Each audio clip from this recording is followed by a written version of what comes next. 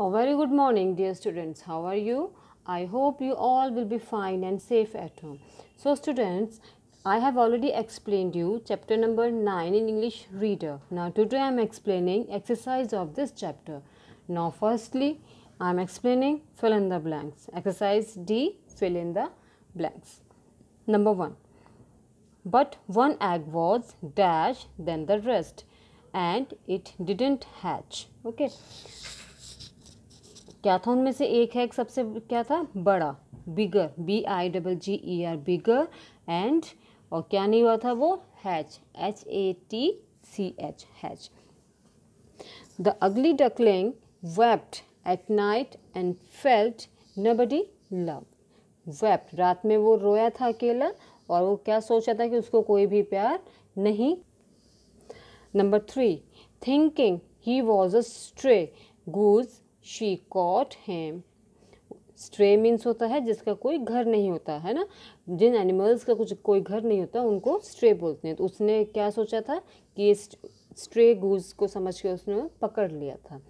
He found himself in a thick bed of reeds R double E D S reeds reeds का meaning होता है water plants एक पानी में एक घास होती है वाटर ग्रास होती है, उसको बोलते हैं reeds the duckling saw himself mirrored in the water mirrored means अपने आप को उसने देखा। पानी में उसने अपनी ही इमेज को देखा। Mirrored M I double R O R E D mirrored exercise E name the following from the story यहाँ पे कुछ सेंटेंसेस आपको दिए हैं। आपको उनके आंसर वन वर्ड में देने हैं। Okay number one a baby duck baby duck duck के बेबी को, छोटे से बेबी को, हम क्या कहते हैं?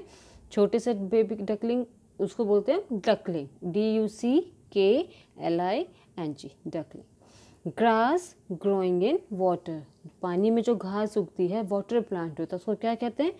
Reeds R double E D S reeds number three a group of birds birds के ग्रुप को हम क्या कहते हैं? जो बहुत सारी बर्ड्स होती हैं, इकट्ठी उड़ती हैं, उनको क्या बोलते हैं? Flight F L I G H T flight number four a group of eggs eggs के ग्रुप को हम क्या कहते हैं? Clutch C L U T C H clutch ये group of eggs group of words ये हमारे क्या हैं?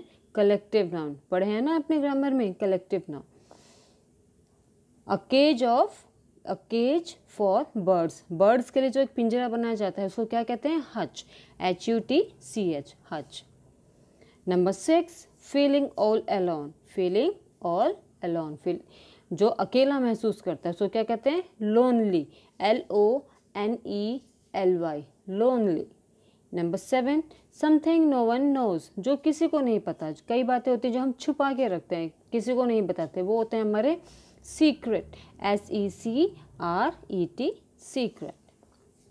Okay? Now come to the exercise f. Who said these words and to whom? यहाँ पे जो आपको लाइंस दी गई हैं, ये किसने कही और किससे कही? Okay number one I can't understand how this ugly duckling can be one of mind मुझे नहीं पता ये अगली डकलिंग मेरा कैसे है। किसने कही थी ये बात? मदर डक ने, जो डकलिंग की मदर थी, उसने कहा था, mother duck to her self अपने आप से कहा था। Nobody loves me they all tease me सब मुझे मुझे कोई प्यार नहीं करता, सब मुझे परेशान करते हैं। ये बात किसने कही थी? ये कहा था, the ugly duckling to himself. Ugly duckling, जो गंदा सा दिखने वाला डकलिंग था, उसने कही थी ये बात। और किससे कही थी? अपने आप से। Number three I will set him free by the pond मैं इसको पॉन्ड में फ्री छोड़ के आ जाऊँगा। छोड़ दूँगा। ये बात किसने कही थी? जो उसको ले गया था farmer the farmer to himself farmer ने ये बात अपने आप से कहा था। Number four he is the finest of them all यह सबसे सुंदर है। ये किसने कहा था? ये जब लास्ट स्टोरी में दो बच्चे आते हैं, जब उसको डकलिंग डक डकलिंग जब पूरा डक बन गया था तब तक, है ना? ग्रे सा हो गया था, सुंदर लगने लगा था तो उसको देख के चिल्ड्रन टू ईच अदर उन बच्चों ने आपस में एक दूसरे से कहा था। Hey hey I hope the women cooks you कि मुझे लग आई होप मुझे लगता है कि ये वुमेन ये औरत जो तुम्हें उठा के लाई है, ये तुम्हें काट कर बना लेगी। किसने कहा था? The cat to the duckling cat ने एक भी, उस बिल्ली ने डकलिंग से कहा था। Number six, do you know of any ducklings with grey feathers like mine? क्या तुम जानते हो कोई ऐसा डकलिंग मेरी तरह जिसके ग्रे फैदर्स हों? क्योंकि वो अपने आप को बहुत गंदा समझता था ना, इसलिए। वो बहुत परेशान रहता था। तो किसने कहा था ये डकलिंग्स टू अदर बर्ड्स? उस डकलिंग ने कहा था, दूसरे बर्ड से पूछा था कि क्या तुमने कभी मेरे जैसा जिसके ग्रे फेदर्स हों, ऐसा कोई डकलिंग देखा है? क्योंकि डकलिंग्स बहुत सुंदर सुंदर होते हैं। Number seven I hope it's a female and lays plenty of eggs मुझे लगता है ये एक फ़ीमेल है और बहुत सारे अंडे देगी। ये किसने कहा था? द ओल्ड कंट्री वुमेन उस बूढ़ी औरत ने कहा था जो उस डकलिंग को ले गई थी। और किससे कहा था? अपने आप से। अब जब उसको ले गई थी उसे उन्हें उस ओल्ड लेडी को लगा था कि एक फीमेल है और बहुत सारे एग उसको मिलेंगे। Okay so students exercise is completed now do this exercise in your book uh, word meanings and question answers of this chapter. I will explain you tomorrow. Okay. Till then, good day, goodbye. And keep studying.